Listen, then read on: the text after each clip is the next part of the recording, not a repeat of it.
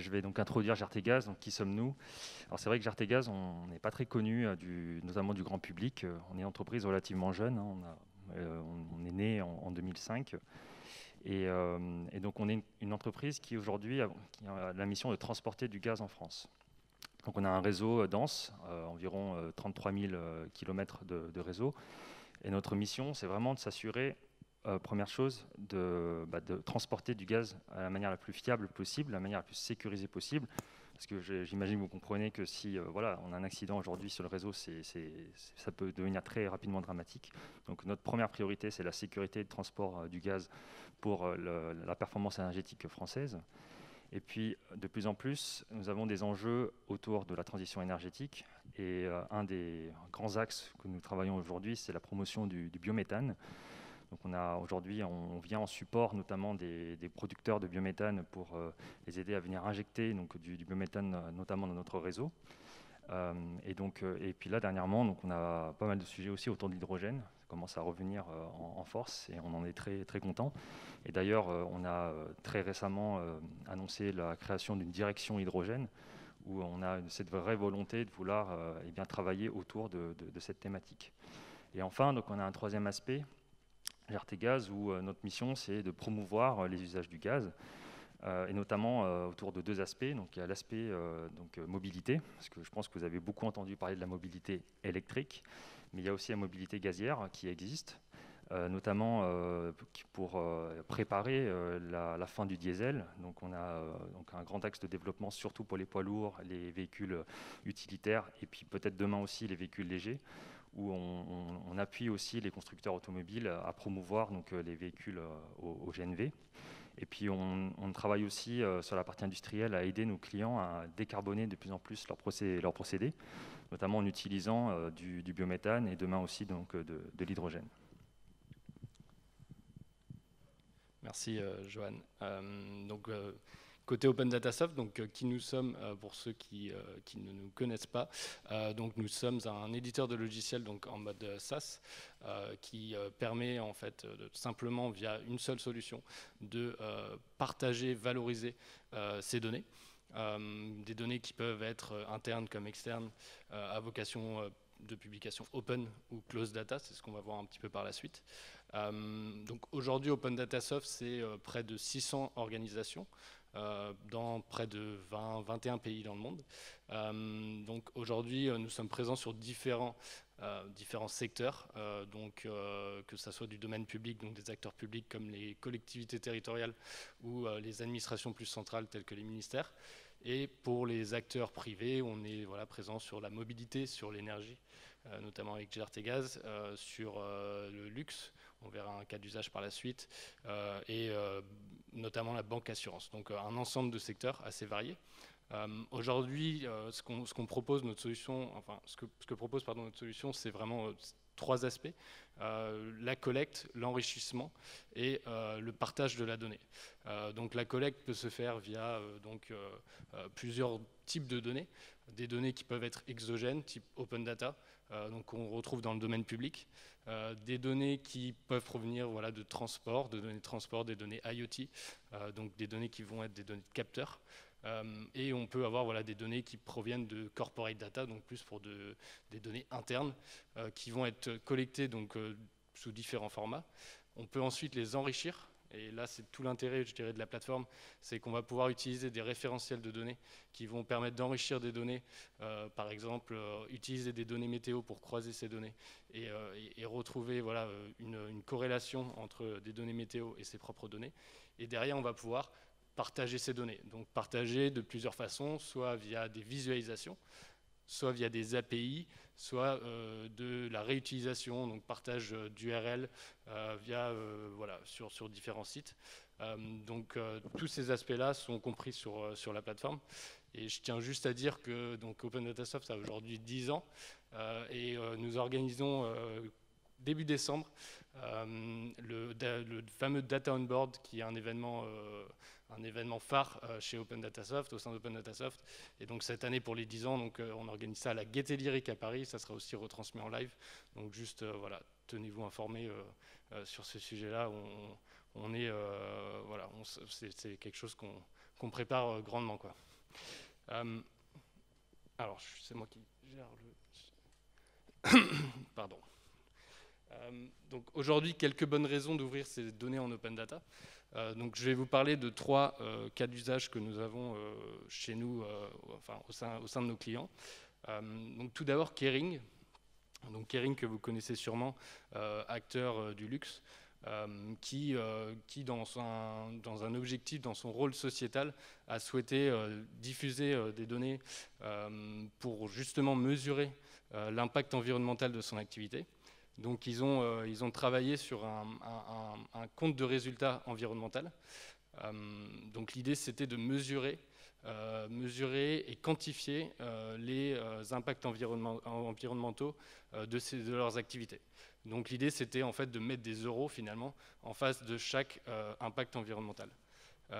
et tout ça, ça a permis voilà, d'orienter leur stratégie de développement durable et d'améliorer les processus et les circuits d'approvisionnement.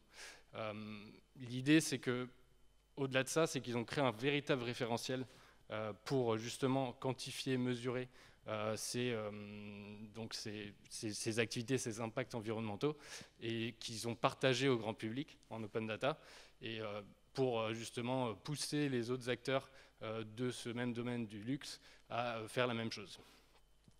Donc ça, c'est vraiment la, la, partie transparence et crédibilité. Sur un autre sujet, EDP, e euh, donc Energias des Portugal pour, euh, pour, ceux qui ne le savent pas, donc c'est l'équivalent un petit peu d'EDF sur, euh, sur le territoire portugais. donc eux sont voilà, producteurs, distributeurs et fournisseurs d'électricité de, sur, le, sur le territoire portugais et même dans le reste du monde, dans pas mal de pays. Aujourd'hui, ils produisent près de 75% de leur, leur, énergie provient d'énergie renouvelable et ils ont pour vocation justement de résoudre un ensemble de problèmes, euh, de problématiques qui peuvent avoir en interne des problèmes techniques sur des sujets spécifiques, par exemple sur euh, de l'éolien, sur du photovoltaïque.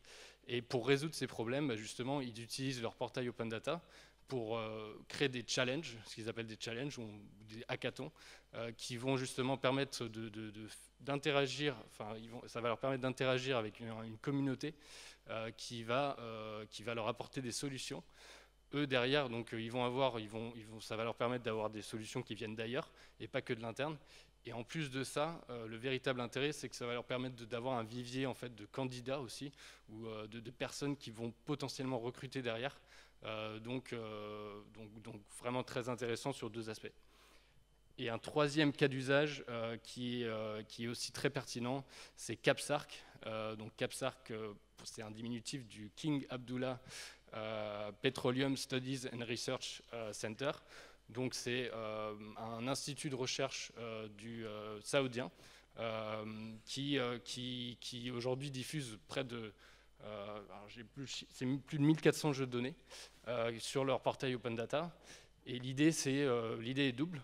c'est qu'aujourd'hui, ils ont des, des, PhD, des doctorants, qui travaillent sur, sur des études autour de l'énergie ces, personnes-là, lorsqu'ils vont publier, euh, publier leurs études, ils vont aussi publier les jeux de données, les études quantiques qu'ils ont fait sur leur portail. Euh, et donc ça, ça va servir à d'autres, donc plus pour ceux qui travaillent justement sur de la veille, euh, technologique ou de la veille, d'études, on va dire, pour travailler sur leur PhD, de justement alimenter avec ces jeux de données. Donc ça va être voilà une ils vont se compléter entre voilà, des, les PhD qui vont alimenter la plateforme et ceux qui vont euh, justement euh, euh, en retirer les informations pour leur propre, doctorat. Donc voilà sur ces aspects-là. Maintenant, GRT Gaz, est-ce que vous pouvez vous, nous en dire un peu plus sur vous, votre ouverture de données? Donc, je, vais, je, vais, je, vous évoquer donc, pourquoi, pourquoi de l'open data chez, chez GRT. Donc au départ, c'est une demande qui est réglementaire. En fait, on a en 2016, enfin en 2015, la loi de transition énergétique pour la croissance verte qui est votée et qui fixe des objectifs donc, de réduction de gaz à effet de serre et de réduction de consommation d'énergie et également de développement des énergies renouvelables. En parallèle, on a la loi pour la République numérique hein, qui prépare le pays aux, enjeux de la transition numérique et de l'économie de demain. Donc, euh, elle promeut l'innovation et puis le développement de l'économie numérique. Donc, dans ce cadre, en fait, GRT Gaz, nous, on, publie deux jeux de données qui sont réglementaires, un qui correspond à la consommation de nos industriels à la maille annuelle hein, et un qui correspond à la production de biométhane des, agriculteurs qui sont raccordés ou des industriels qui sont raccordés sur notre réseau. Donc euh, ces jeux de données sont publiés en open data pour, euh, pour, euh, pour le proposer à tous. Donc après, au niveau du deuxième enjeu, nous sommes sur un enjeu de service au territoire. Donc euh, aujourd'hui, euh, notre, positionnement, c'est de fournir euh, un maximum de jeux de données. Aujourd'hui, on est à plus de 100 jeux de données à destination des territoires. L'objectif, c'est vraiment de favoriser l'innovation pour la création de, nouveaux services et de développement de nouveaux acteurs. C'est également apporter plus de transparence auprès de nos parties prenantes, comme les citoyens, les associations. Et c'est euh, aussi euh, pour faciliter en fait l'élaboration et le suivi euh, des, actions de transition énergétique pour les acteurs publics. nous avons un, troisième enjeu, en fait, c'est vraiment de développer, enfin de, mettre en visibilité la place du gaz dans le mix énergétique. Alors, il faut savoir qu'aujourd'hui, le gaz, c'est à peu près 450 TWh de consommation annuelle. On, représente à peu près 20% de la consommation d'énergie en France. Euh, sur ces 450 TWh, on a à peu près 10%, euh, donc à peu près entre 40 et 50 TWh qui servent à la production d'électricité. On a plus de 1000 projets euh, d'injection de biométhane dans les réseaux. Et, c'est vrai que bah, a de plus en plus de, biométhane qui est injecté. Donc on, vraiment on travaille au quotidien pour proposer une solution qui, va permettre bah, de, de, fournir une énergie euh, euh, plus propre pour les années à venir. Et euh, c'est vrai que l'open data nous permet de mettre en visibilité la place du gaz et, son rôle primordial dans, le mix énergétique français. Et le dernier point, en fait, c'est vraiment, comme le disait Joanne tout à l'heure, on a vraiment un objectif de mettre en visibilité les nouveaux gaz euh, et, les nouveaux usages. Hein. Donc euh, aujourd'hui, euh, on, a, pas mal de, données qui, sont sur, le biométhane, hein, parce qu'on a une, filière qui est très active. Hein. on, produit aussi des jeux de données sur le potentiel des territoires, parce que c'est vrai que bah, aujourd'hui, avec l'agriculture, avec les déchets, on a, des possibilités euh, de produire beaucoup d'énergie en territoire. Hein. donc, euh, on, a, pas mal de jeux de données là-dessus aussi. Euh, ça démarre sur l'hydrogène, c'est encore, une, filière un petit peu naissante. Hein. Et, on a les nouveaux usages sur la mobilité avec un open data dédié qu'on vous présentera par la suite. Carole. Je vais reprendre la suite sur la, la, démarche Open Data GRT donc, vous l'avez compris, on a des enjeux donc, réglementaires, de communication euh, et des enjeux liés à la transition énergétique. euh, d'où cette nécessité d'exposer nos, données en open data. Mais déjà, on ne le fait pas tout seul. Hein. on n'est pas euh, Gertegas qui propose ces données dans son coin. C'est une démarche qui est globale, c'est-à-dire qu'aujourd'hui, on a des partenaires, notamment RTE sur la partie électricité. On a aussi nos filiales. Euh, donc on a aussi euh, l'implication euh, d'acteurs dans la météo. Enfin, on a vraiment un tissu de partenaires qui contribuent donc à, la publication de données. Et puis on travaille aussi avec des partenaires qui ne sont pas directement impliqués dans Open Data Réseau Énergie qu'on va vous présenter juste après, mais des partenaires qui font aussi de l'Open Data dans l'énergie. Je pense à GRDF, je pense à Enedis, je pense à EDF aussi qui a, fait son Open Data il n'y a, pas très longtemps, notamment avec vous, Open Data Soft. Et donc, euh, concernant donc, cette démarche-là, nous, on s'est organisé en interne Vertigas pour vraiment proposer une démarche open data pour toute entreprise. C'est vrai qu'au début, ça a démarré euh, au niveau de la direction de la stratégie. Euh, et puis très rapidement, donc, on a impliqué notre direction juridique pour décliner de manière opérationnelle bah, les textes de loi en, jeu de données. donc nous, avec Carole, c'est vrai qu'on ne l'avait pas mentionné, mais on fait partie de la direction des systèmes d'information, plus particulièrement dans le département data. Donc très rapidement, le sujet est devenu technologique. On est, on est, on est venu donc renforcer les équipes stratégiques et les équipes juridiques dans la publication de jeux de données. Et puis en fait, ce qu'on constate, c'est que l'open data prend une place grandissante au sein de GRTGaz. Et donc on retrouve aussi maintenant la direction commerciale qui se saisit du sujet, notamment pour, eh bien, de manière assez fréquente, publier les avancées autour du biométhane et puis demain autour de l'hydrogène. Euh, et puis on, voit également qu'on a euh, des, enjeux aussi euh, qu'on va aborder après un peu plus internes, où on sent que au-delà de publier des données en open data, bah, comment se servir aussi des données qui sont publiées en open data pour nos propres usages en interne. Donc ça, on a, voilà, on a une démarche globale qui, est grandissante au sein de l'entreprise. Et du coup, conséquence, c'est qu'on a des équipes qui sont dédiées, et donc des équipes euh, qui sont multidisciplinaires. Donc on a des juristes, on a donc des, stratégistes, mais on a aussi de plus en plus, côté IT, euh, des profils type data engineering, des profils data analyst, des profils data scientist qui vont aussi utiliser les données pour en tirer une valeur. Et du coup, on s'appuie sur des technologies euh, modernes, notamment les technologies Open Data Soft, pour euh, s'assurer de l'interopérabilité entre nos différents jeux de données, euh, user aussi, on va dire de manière assez fréquente, des API. Aujourd'hui, ça nous, ça nous, nous, sert énormément. donc, c'est vraiment aujourd'hui une démarche qui est vraiment intégrée au sein de l'entreprise. Donc, euh, sur les exemples de réalisation, donc, euh, moi je vais vous parler euh, principalement de, Audrey, donc Open Data Réseau Énergie. Donc, Audrey, c'est le fruit d'un partenariat entre donc, RTE, qui est notre homologue sur l'électricité, Terega, qui est notre partenaire sur la partie sud-ouest, hein, donc qui est comme nous transporteur de gaz. On a également Storengy pour les stockages, euh, LNJ et LNG Dunkerque pour les terminaux méthaniers, euh, l'AFGNV qui représente la mobilité gaz, et euh, Weather News qui nous permet de contextualiser nos données avec des données météo, vu que l'énergie est très dépendante de la météo, donc c'est toujours très intéressant de, les contextualiser. Donc Audrey, c'est un portail donc, qui a été créé en 2017 et qui a pour but d'accompagner les acteurs des territoires hein, dans l'atteinte de leurs objectifs de la transition énergétique. Hein. Et en fait, c'est aussi un moyen d'informer les citoyens sur, euh, nos actions et sur euh, comment on œuvre au quotidien euh, pour atteindre les objectifs. Alors aujourd'hui, on fournit plus de 180 jeux de données. Donc c'est autour de la consommation d'énergie, la production. Il y a aussi des informations sur le réseau, les infrastructures. On a des données de marché, on a des données de mobilité. Et en fait, c'est des, des, données qu'on accompagne de plus en plus de pédagogie parce qu'on se rend compte quand même que la donnée énergie, c'est un petit peu complexe. Euh, et, donc, du coup, on a, on a, développé un tableau de bord régional qui, euh, qui donne beaucoup d'informations euh, visuelles et qui explique. C'est des données aussi qu'on met toujours en parallèle gaz-électricité pour, pour, pour, bien faire comprendre euh, le mix énergétique.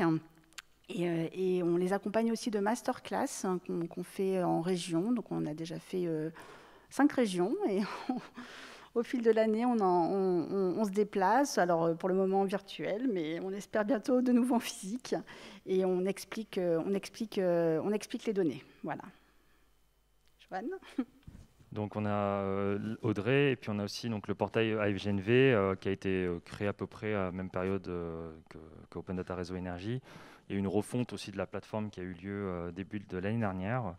Et donc là, le principe, hein, c'est plus avec nos, collègues côté GRDF, avec qui on, travaille main dans la main dans les sujets autour de ce portail-là. Et donc en fait, euh, bah, l'idée là est plus d'aller faire de la communication autour de la filière. Donc euh, vous trouvez sur le portail notamment euh, le nombre de véhicules qui aujourd'hui bah, circulent aujourd'hui en France avec du GNV. Il y a un jeu de données qui est très très utilisé, qui est le jeu de données autour des stations de GNV. On a notamment des réutilisations qui, sont, qui sont faites de ce jeu de données et on l'espère demain pouvoir s'intégrer aussi dans des systèmes comme, comme Waze ou comme Google Maps, comme le font déjà nos collègues côté, côté électricité. Euh, on a aussi euh, des, données autour de la consommation de GNC euh, à différentes mailles géographiques, que ce soit à la maille régionale, à la maille nationale. On, est en train de travailler aussi à des mailles un peu plus locales pour donner ce type d'informations. Et, du coup, donc, on, essaye avec ce portail-là bah, d'appuyer la communication d'une filière qui, euh, qui, est grandissante, qui, qui, se construit aussi, parce que ce n'est pas évident encore hein, de, finalement, avec euh, la mobilité euh, électrique, bah, de coexister. Mais ce qu'il faut retenir, c'est que c'est un portail qui vient vraiment apporter un complément, un complément dans notre mix énergétique et qui vient apporter aussi des solutions alternatives à des, eh bien, à des industriels, à des particuliers qui se posent des questions aujourd'hui autour de l'écologie, autour de la, transition énergétique et qui veulent demain se préparer notamment à, la fin du, du diesel, parce que je pense que vous, le savez que euh, plus ça va, plus on va dans des, euh, dans des zones d'interdiction de circulation de véhicules au diesel, avec notamment les zones à faible émission. Et, euh, du coup, bah, le GNV, en plus de la mobilité électrique, est une réponse aussi à ces enjeux-là. Merci, merci à tous les deux. Euh, donc moi, je, vais vous parler de quelques bonnes pratiques pour ouvrir ces données. Euh, et ce qu'on a pu voir d'après notre expérience au sein d'Open Data Soft sur les différents portails qu'on a pu ouvrir avec nos clients. Euh, je dirais la, première partie, et bon, il y en a trois ici, c'est pas forcément exhaustif, mais voilà, c'est de définir une politique, une politique pardon, de data gouvernance. la data gouvernance, en fait, c'est donc les, procédures et règles, responsabilités euh, qui vont permettre de garantir la, qualité de la donnée. Euh, aujourd'hui, euh, c'est vrai que on voit, on voit certains, certains de nos clients, parfois même, qui se lancent dans des, dans des sujets où la, partie data gouvernance n'est pas encore établie. c'est une chose pourtant qui est essentielle et qui va permettre, en fait, ça va être un peu l'armature du, tout pour derrière développer euh, on top euh, son, son, euh, son, portail, son écosystème aussi autour. Donc c'est vraiment la, la, première partie à considérer comme voilà, essentielle. En deuxième point, je dirais que l'implication des métiers dans le partage des données. Et ça aussi, c'est une chose qui est primordiale. c'est vrai qu'aujourd'hui, en effet, c'est souvent des sujets qui sont pris au sein des entreprises par la DSI. et la consultation des métiers euh, et je pense que Johan et Carole pourront euh, le, valider, c'est quelque chose qui est essentiel euh, dans le sens où si aujourd'hui on travaille sur un ensemble de données, un socle de données utile au métier, il faut forcément que les métiers assez vite soient impliqués dans, dans, ce travail. je dirais que la, voilà, la stratégie data doit, doit impliquer les métiers au plus tôt. Euh, pardon, excusez-moi, euh, d'impliquer les métiers au plus tôt pour vraiment euh, voilà, que, les métiers s'y retrouvent demain dans cette ouverture de données et, que demain aussi les, utilisateurs finaux s'y retrouvent. Quoi. une fois qu'on a ouvert ces données, on, a un, écosystème autour de nous qui évolue, qui cherche à, se servir des données. Euh, mais voilà, il y, a forcément des choses euh, auxquelles on n'a pas pensé. Peut-être que les données ne sont pas existantes ou les données ne sont pas suffisamment claires, précises sur tel ou tel sujet. Et c'est là que euh, l'intérêt, voilà, une fois qu'on a ouvert ces données, l'intérêt c'est de récolter euh, au maximum les, informations, les retours euh, des utilisateurs finaux, car c'est eux qui vont nous garantir que, nos données sont bonnes, sont, utiles, on va dire, pour, le, pour, le bien de tous. Et, et donc voilà, l'idée c'est vraiment de tirer profit au maximum de, de, cet écosystème pour justement mieux valoriser ces données demain, aujourd'hui. Euh, je laisse la main à GRTGAS. Donc là, on, a beaucoup parlé de la partie plus open data. Euh, mais il y a toute une nouvelle partie aussi qui est en train de se créer, qu'on appelle le close data ou le partage de données internes. Euh, et, GRTGAS notamment travaille dessus. Et donc je laisse Johan en parler un, peu plus. Ben, merci Charlie. Donc, alors c'est vrai que L'open data, c'est très intéressant, le paradigme que ça apporte, euh, parce que typiquement, on est vraiment dans une logique d'ouverture de données, donc de partage. Et c'est vrai qu'une entreprise comme nous, GRT qui sommes industriels, vous, l'avez compris, avec un enjeu euh, d'assurer le transport du gaz euh, le, plus sécurisé possible, mais aussi avec différents clients, que ce soit des clients industriels, des clients côté donc, GRD, ELD, qui du coup nous, nous communiquent des, données aussi commercialement sensibles. Vous imaginez du coup que bah, partager des données, ce n'est pas forcément un sujet évident chez nous. Et, pourtant, bon, on a été induit par la réglementation, ok, comme beaucoup d'entreprises aussi dans, le même secteur que nous. Mais on s'est rendu compte qu'il y avait une vraie opportunité d'utiliser l'open data déjà pour s'enrichir en interne des données qui étaient disponibles en open data. Et je pense notamment, je ne sais pas si parmi nous on a, des personnes qui manipulent les données au quotidien, mais les référentiels géographiques, un enfer euh, donc, euh, de, les manipuler euh, dès lors qu'il y a une mise à jour, ne serait-ce qu'avec les référentiels des communes. C'est un sujet avec Charlet sur lequel on, est souvent penché en, début d'année notamment. donc nous à Jartegas, vous l'avez compris, on essaye de, formaliser des jeux de données à différentes mailles géographiques, notamment à la maille des communes. Donc voilà, c'est vraiment très enrichissant d'avoir de plus en plus ce type de référentiel disponible en open data et requêtable avec des API. Euh, mais on a aussi un autre pendant, c'est qu'on a euh, une mine d'or aussi au sein de GRTGaz. On a des données en interne qui sont très précieuses, euh, qui nous permettent, en les croisant, en les agrégeant, de mieux connaître certaines tendances vis-à-vis de nos clients, certaines tendances vis-à-vis de certains procédés, certaines tendances vis-à-vis de certains, de, certains, comment dirais-je, des matériaux qu'on pourrait utiliser, par exemple, pour transporter du gaz, etc. Et donc on se dit qu'on est à la croisée des chemins entre des données à la fois open et des données à la fois fermées quelque part internes. Et, ça amène finalement à réfléchir à un écosystème interne euh, qu'on a nommé close data euh, ou open data interne pour certaines personnes, parce qu'on se dit que euh, bah, comment faire pour profiter de tout l'écosystème de l'open data pour réussir à déciloter notre manière au sein de l'entreprise à partager des données, déciloter notre manière finalement à consommer de la donnée. Et donc on a, donc on a mené ce, chantier-là, notamment donc avec, euh, avec Carole, mais aussi avec de nombreux collègues au sein de, de, GRT Gaz. Et on a identifié euh, trois grands piliers qui aujourd'hui se dessinent autour du close data. Donc de manière assez évidente, on s'est rendu compte que close data, ça, nous permet demain d'être beaucoup plus performant. Et effectivement, euh, avec l'exemple des référentiels géographiques, où nous, nous avons aussi un, SIG qui est, qui est, quand même assez imposant, bah, ça vient faciliter aussi quelque part la mise à jour de ces données-là. Euh, on s'est rendu compte aussi en termes de performance euh, dans, les échanges de données, euh, bah, plutôt que de passer son temps à quelque part à s'échanger des fichiers Excel par, mail, bah, on, crée un dataset directement dans notre portail data et puis c'est partagé aux bonnes personnes en fonction bah, de différentes règles de sécurité. Donc ça c'est très important et ça nous permet d'agiliser aussi quelque part notre manière de, partager la donnée.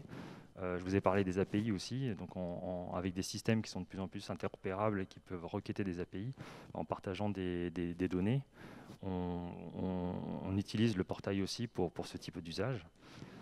L'innovation, donc l'innovation, c'est un aspect euh, aujourd'hui euh, où, toute entreprise tend à, y aller. Et c'est vrai qu'on s'est rendu compte qu'en facilitant le partage de la donnée, ça facilite aussi l'expérimentation des données. Et donc on a des cas d'usage qui sont assez intéressants, notamment autour de la manipulation de données euh, géographiques.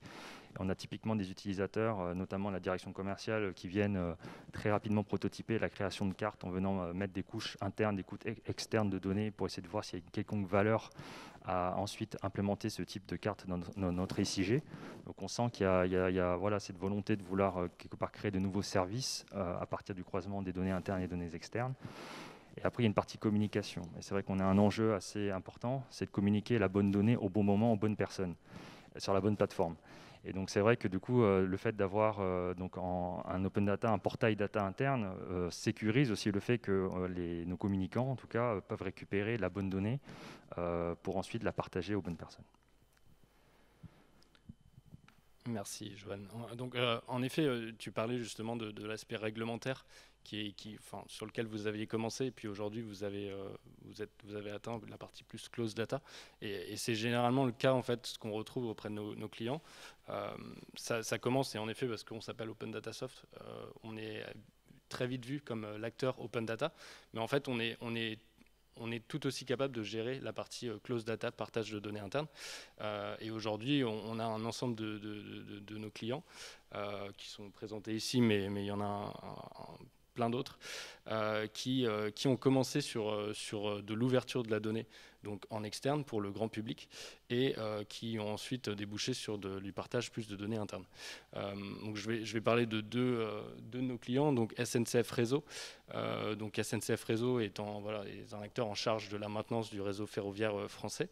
eux, ils ont donc plus de, plus de 1500 projets sur le territoire, et on parle de 4500 collaborateurs environ.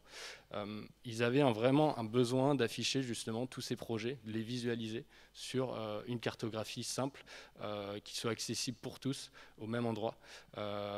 et donc ils, ont vu un véritable intérêt de, de, se servir de la plateforme Open Data Soft pour justement retrouver toutes ces informations à un même endroit. Euh, donc aujourd'hui, ce qu'ils ont, euh, ce ont comme retour euh, par rapport à ça, c'est beaucoup moins de temps, tu parlais notamment de partage de données Excel, bah, beaucoup moins de temps finalement à rechercher les données, notamment dont ils retrouvaient voilà, des données dupliquées. Aujourd'hui, elles sont présentes à un seul endroit où ils peuvent récupérer ces données, les utiliser de différentes façons, soit via un export simple, via des API, via des visualisations. et ils estiment à peu près à 400 heures le temps gagné justement euh, à euh, justement ne pas rechercher cette donnée euh, sur un serveur à gauche à droite en interne sur un fichier envoyé par Intel par Excel. tout est au même endroit. Donc ils y trouvent un, véritable intérêt, la simplicité d'utilisation et le fait qu'on puisse y accéder finalement partout. un deuxième cas d'usage, la Mayenne, donc le département de la Mayenne. Donc là, on est plus sur une partie plus public, secteur, enfin secteur public, dans, un, voilà, dans un but de mieux suivre en fait un ensemble d'indicateurs. Euh, donc pour, euh, pour le, département du, pour le, le, président du département, ils avaient besoin voilà, de suivre un ensemble d'indicateurs stratégiques, des indicateurs voilà, sur l'aide sociale, sur l'enfance, sur le RSA. et donc dans ce cadre-là, ils, avaient besoin de quelque chose, d'un outil qui permette de diffuser euh, euh, simplement euh, et de manière assez fréquente, avec une fréquence presque quotidienne, un ensemble de données d'indicateurs. donc l'idée, c'était vraiment de visualiser la santé du département pour l'interne et pour voir l'évolution et pouvoir agir en fonction donc là, je vais laisser la main, et je vois qu'il nous reste assez peu de temps, sur la, déclinaison euh, opérationnelle côté GRTGAS de, la partie close data. Bon, je vais essayer de prendre le challenge et de, de, vous résumer de manière synthétique euh, notre déclinaison opérationnelle. Vous l'avez compris, euh, donc le close data, on s'est très rapidement rendu compte qu'il y avait une valeur, mais du coup, pour pouvoir le mettre en place, il a fallu qu'on s'organise en interne. Donc là, ce que je vous dis, c'est encore en construction et, donc on, est en train d'itérer aussi sur notre manière d'adresser le sujet. Mais déjà, on a, très rapidement euh, considéré le fait qu'il était important dans notre organisation d'avoir un, Chief Data Officer qui impulse la stratégie euh, data de l'entreprise et qui quelque part fait un écho aussi à cette stratégie data auprès de nos, dirigeants, notamment auprès du COMEX. Et, euh, notre CDO aujourd'hui s'appuie sur un tissu de, data owners, de data managers qui sont répartis chacun dans, une direction métier. Donc aujourd'hui, Jartigas, c'est à peu près une dizaine de directions métiers euh, donc c'est important d'avoir ces, piliers-là aussi pour, nous appuyer, ne serait-ce que dans la gouvernance, la compréhension et la mise en qualité euh, de leurs données. Euh, et, puis, et puis donc on a une communauté grandissante. Donc on a commencé à la créer il y a maintenant un peu plus de deux ans. Euh, dans lequel on est un peu plus de 250 acteurs engagés dans, la communauté data, en sachant que euh, GRTGA, je ne l'ai pas précisé, c'est à peu près 3500 salariés. Donc on essaye là de, tendre vers les 350 pour à peu près être à 10%. Euh, mais c'est quand même donc, une, centaine d'acteurs engagés de différents profils, de différentes maturités, qui font aujourd'hui de la data. Donc on a des, techniques comme des data engineers, des data analysts, mais on a aussi des, personnes un peu plus fonctionnelles, voire des personnes très très novices autour de la donnée et qui s'y intéressent. Et donc, euh, aujourd'hui, donc comment on décline ça? Donc, on, a, on a donc des, bah, on a notre réseau social d'entreprise sur lequel on anime cette communauté. On essaie de, voilà, de, les inspirer en continu, de les fédérer en continu et de les accompagner aussi vers un peu plus de formation, vers un peu plus d'usage, mais surtout vers une certaine culture de la donnée. Parce que sans culture, il euh, n'y a pas de partage. Donc c'est important du coup de voilà d'accompagner ces acteurs-là pour qu'ils puissent, euh, bah, comme les acteurs de l'open data, euh, avoir cette, vraiment cette vision communautaire du, partage pour ensuite pouvoir ensuite libérer libérer les données en entreprise. Et du coup, donc, pour accompagner cette déclinaison donc, opérationnelle, on, on a une déclinaison technique. Alors là, c'est très macro hein, ce que je vous présente, mais c'est assez classique. Mais c'est très rapidement, donc pour pouvoir partager, ben, on s'est intéressé au stockage de nos données. comment faire pour avoir un, stockage qui soit le plus agile possible. Donc c'est vrai qu'on est très rapidement allé sur les technologies cloud. Donc aujourd'hui à Gertegaz, on est plutôt multi-cloud aujourd'hui. Donc on, sans citer de nom, mais on, essaye euh, donc, donc de, favoriser ce type de stockage de données pour ensuite pouvoir facilement les récupérer, pour ensuite les partager. On investit énormément de temps dans le catalogage de nos données. On a notamment des études de gouvernance de la donnée qui sont engagées avec nos data owners, nos data managers, des équipes dédiées côté data qui travaillent vraiment main dans la main avec les métiers pour euh, mettre en qualité, euh, gouverner, fédérer donc, euh, les, différentes données que nous avons aujourd'hui à Gaz. on a quand même un, patrimoine de données qui est, conséquent et qui n'est pas évident, parce que c'est historique aussi. Hein. Gaz, ça ne s'est pas construit du jour au lendemain, hein. c'est une construction qui s'est faite au fil des années, et donc les données aussi, se sont construites au fil des années, donc c'est compliqué aujourd'hui de reprendre tout cet historique pour quelque part un petit peu faire le ménage et, mieux comprendre notre patrimoine de données. Donc c'est pour ça qu'on a aussi toute une, une démarche sur toute la qualité de nos données. Donc on a euh, voilà, des personnes qui sont engagées aussi à, aller vers, à tendre vers une politique, euh, des standards de qualité pour notamment aider euh, nos, collaborateurs à, mieux gérer leurs données. Et donc tout ça, tout ça pour finalement faciliter le partage. Donc partage, et donc notamment en utilisant les technologies Open Data Soft, mais pas que. On, a des, voilà, des, solutions, on essaie d'ouvrir nos données euh, on a notamment euh, une, euh, solution d'API management qui permet voilà, de, pousser des API, notamment pour les populations un peu plus IT. On a des, un autre portail data qui, s'adresse plus donc, à des populations fonctionnelles. Voilà, on essaye comme ça d'adresser par, par ces technologies-là un maximum de personnes pour le partage des données, de manière aussi et c'est là, je trouve qu'à Gaz, on est un peu plus en avance par rapport aux autres sujets, d'aller vers de la visualisation et, de l'innovation. Et c'est vrai qu'au niveau de la visualisation, on a fait un très grand travail depuis euh, ces dernières années à, favoriser notamment euh, la formation autour d'outils de, visualisation. Je pense à Power BI, mais on, essaye vraiment de, favoriser ça et on se rend compte que nos métiers aujourd'hui sont très autonomes sur l'utilisation de ces outils. Et voire tellement autonomes qu'on se pose des questions maintenant à un peu les limiter dans les usages de, visualisation, parce qu'ils ont très rapidement compris la valeur que ça avait euh, bah, de, créer des dashboards et de partager ces données-là pour euh, prendre des décisions en interne, mais au-delà de ça, de communiquer des données vers l'externe. Et donc, euh, bah, évidemment, hein, pour, partager, pour ouvrir, on a, on a beaucoup de challenges à relever. Bon, là, j'ai cité des challenges très macro, mais mais, euh, mais, du coup, je dirais le, le challenge principal, c'est vraiment le, patrimoine de données, c'est-à-dire que ne partez jamais sur le principe que c'est facile de partager. Non, il faut d'abord bien connaître ces données, et notamment bien connaître ce que vous pouvez partager, parce qu'on peut partager des données, mais on ne peut pas partager n'importe quelle donnée. Et dans un contexte où vous avez des ICS, vous avez des DCP, vous avez des réglementations, et donc il y a besoin aussi d'inclure les, juristes euh, donc, dans, dans, dans, ce sujet-là. Et donc comme l'open data, donc nous on a cette même démarche pour le close data, c'est qu'on essaie de travailler aussi avec nos juristes pour, et, aussi avec les équipes euh, autour de de la protection des données pour pouvoir identifier quelles sont les bonnes données, nos data owners, nos data managers aussi, de les sensibiliser sur ces sujets-là, parce que très rapidement, on peut euh, tomber dans le travers de, bah, vouloir tout partager et, parfois de diffuser la mauvaise donnée aux, mauvaises personnes. Euh, mais du coup, voilà, ça passe par une culture du partage et donc une culture de la donnée. Donc il faut que par une communauté, euh, les, personnes qui souhaitent partager, qui souhaitent consommer la donnée, ben, puissent être initiées, formées. donc c'est pour ça qu'on veut investir beaucoup de temps aussi euh, dans, une seconde étape euh, à, accompagner aussi ce changement-là auprès de ces acteurs-là. Et puis, et puis, je dirais aussi le gros challenge qu'on a, c'est un challenge technologique parce qu'aujourd'hui, dans un contexte où on est multi-cloud, dans un contexte où on a beaucoup de données à, cataloguer, bah, quelque part, comment faire pour les, rendre homogènes entre elles pour pouvoir plus facilement les diffuser. Donc on a ce challenge technique, mais on est assez convaincu qu'on arrivera à le, relever l'année prochaine en tout cas, parce que ça fait partie de nos enjeux euh, pour pouvoir euh, rapidement euh, disposer bah, d'une plateforme complète. Alors, merci, merci beaucoup, Joanne. donc, comment, comment, comment Open Data Soft donc, vous accompagne euh, donc aujourd'hui, en effet, on, a une plateforme qui, euh, tout en un, qui permet euh, de, partager, de partager. Alors c'est plus sur les dernières briques qu'a évoqué Johan sur les, deux slides d'avant, sur la partie plus visualisation et partage de données. Donc on va avoir donc des visualisations, des dashboards qui vont être très simples en mise en œuvre et donc assez qui vont qui vont permettre d'interaction avec les collaborateurs en interne plus simplement.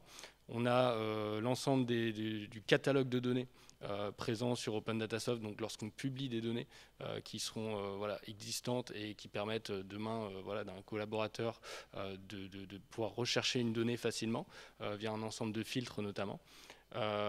Et on a la partie API, donc pour, pour justement pouvoir récolter les données via des API qui, sont, standards sur Open Data Soft et, qui permettent voilà, d'atteindre des, métiers sûrement un peu plus techniques.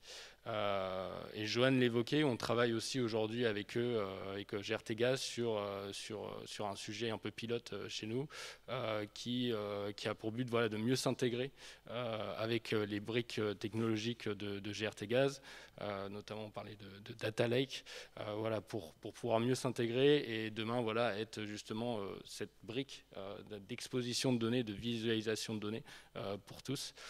Donc c'est un travail qu'on a, qu'on a conjointement euh, ensemble dernièrement. Euh, et donc, euh, donc, donc voilà. Donc, voici tous les, à peu près tous les, tous les sujets sur lesquels on, vous accompagne et puis voilà tout le service aussi qu'il y a derrière. je ne le cite pas forcément, mais moi j'étais anciennement CSM sur, sur Open Data Soft avec, en accompagnant GRT Gaz et on a travaillé sur un, ensemble de sujets qui ont permis aussi de faire grossir l'usage interne au sein de GRT Gaz. Merci à tous. Je pense qu'on a respecté à peu près le timing. Euh, et merci d'ailleurs à l'organisation euh, euh, du Salon de la Data de nous accueillir ce matin et pendant toute la journée d'ailleurs pour, pour nous Open Data Soft. Si, vous avez des questions, je vous laisse la primeur.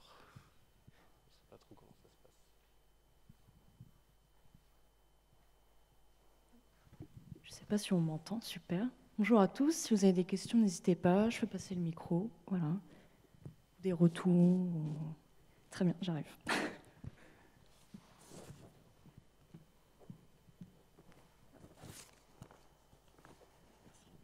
Oui, bonjour. Sylvain Barthélémy, TAC Economics. Euh, je voulais savoir où sont stockées les données quand vous dites que vous partagez des datasets euh, via la, la plateforme Open Data Soft. Est-ce que les données restent chez vous, euh, GRT Gaz, ou est-ce que vous les uploadez euh, chez le, prestataire? Euh, Aujourd'hui, donc on a, en tout cas, on souhaite le maximum stocker nos données chez nous. Et donc, Charlie l'a un peu évoqué, mais on travaille à la mise en place d'un data lake, donc, ou un lakehouse, enfin, dans lequel on souhaite fédérer l'ensemble de nos datasets. Et ensuite, on essaie d'exposer ces données-là directement via des connecteurs dans, dans Open Data Soft. Aujourd'hui, ces connecteurs-là sont encore en, travail, hein, ce n'est pas encore euh, euh, opérationnel, mais l'idée est, de garder les données chez nous, mais de les streamer quelque part dans le portail, euh, en tout cas Open Data Soft, dans le cas du portail data, oui, tout à fait. Oui, c'est exactement ça, pas forcément plus à dire, mais en effet, on travaille ensemble sur un, connecteur, voilà, sur justement pour mieux se, connecter finalement voilà, au data lake de, GRT Gaz. Et, demain, voilà, comme je disais, mieux exposer les données plus facilement via des visualisations notamment. Euh, voilà. Alors j'en profite si je peux poser une deuxième question. Euh, est-ce que vous utilisez, vous disiez que vous étiez multi-cloud, donc est-ce que vous utilisez plutôt AWS, euh, Azure, Google ou plutôt des clouds de confiance français pour des raisons de, Cloud Act ou de, voilà, de non-partage des données avec les, entités américaines? Alors, il y a un vrai sujet autour de la souveraineté de nos données. Et donc, effectivement, je ne veux pas m'avancer sur ce sujet. Ça serait plus mes collègues côté cloud qui pourraient vous répondre. Mais ça fait partie de nos réflexions. On veut vraiment aller vers, euh, vers du cloud français. Mais pour le moment, euh, par les choix technologiques qui ont été faits, donc on est plus sur des solutions effectivement du marché, euh, donc solutions américaines du marché. Et, mais effectivement, on y, réfléchit. On y réfléchit grandement d'ailleurs.